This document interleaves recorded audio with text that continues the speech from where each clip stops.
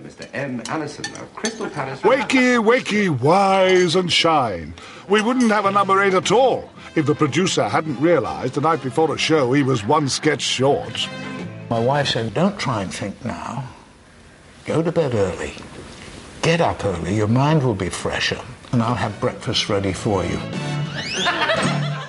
I thought, that's it. The breakfast routine required a sense of rhythm and dance. And of course, it was Ernest Maxin choreographing. We had to put all the music punches into all these tricks, otherwise, it would have looked dead. Dying where they throw the egg across. Ernie mixing the omelette. There had to be a brass flare there.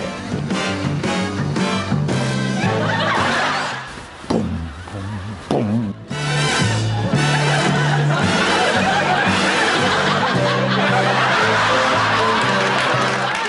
Without that, it would look funny, but it wouldn't have that class.